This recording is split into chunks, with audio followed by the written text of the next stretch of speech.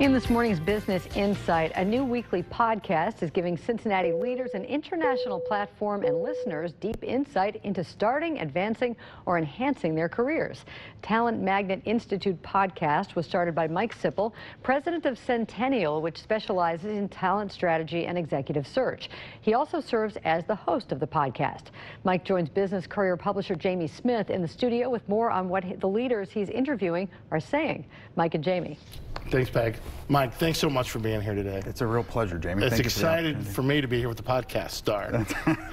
you know, obviously you you guys have a very successful family business. You've been doing this for a long time. Now you're launching a podcast series. Should I just kind of call you Superman, or I've been called worse. So Talk first a little bit. What is Talent Magnet Institute, and what's it got to do with these uh, podcasts? Sure. So the Talent Magnet Institute was formed based on all of our experience over the years working with leaders that we believe that we need to help leaders succeed in relationships, work, community, and life, and helping reframe success in leadership.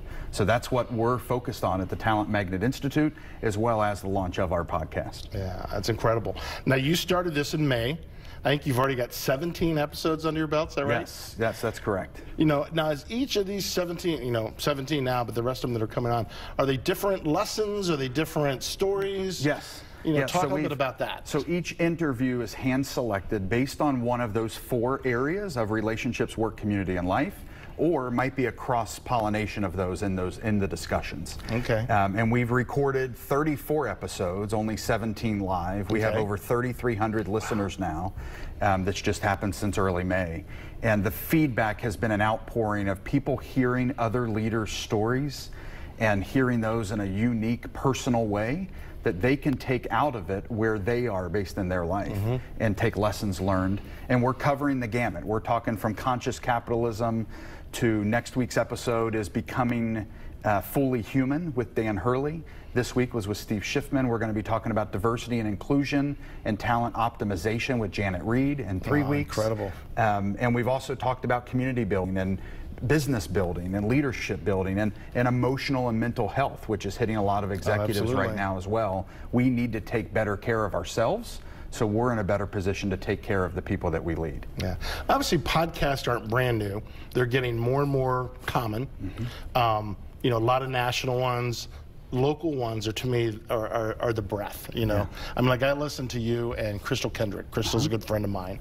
I listen to that conversation and it's just enlightened me so much to not only hear her story and how she took you know going from working from corporate America, doing some secret shopper stuff, right. and then really turning that into for companies to find out what they didn't know about their own companies. That's right. So Absolutely. I'm assuming that's the kind of thing you hope yeah. to get out of here yeah. is stories that as a leader of your own company, mm -hmm. you can say, wow, I didn't think of it that right. way. And we see leaders all the time in, in news and in the media, but we don't know their stories yeah. and how they got to where they are. And listening to those emotional pivots and those life experiences will help those listening elevate their own leadership yeah. and find comfort in yeah. that I'm not the only one. Right. Well, the ones I've listened to are great. You've had a great lineup. How, how can our viewers get on get to the podcast? Sure. So if you look at talentmagnetpodcast.com, okay. or you can just Google Talent Magnet Institute podcast, and then go subscribe in whatever podcast application you use, or you can go to the talentmagnetpodcast.com and actually register to get a weekly email when our episodes it. come it's out. It's easy to use, very user friendly. So right. uh, I suggest you, you tune in soon. Mike, thank you so much, and thanks for everything you're doing for the community. Absolutely. Thank you, Jamie. All right.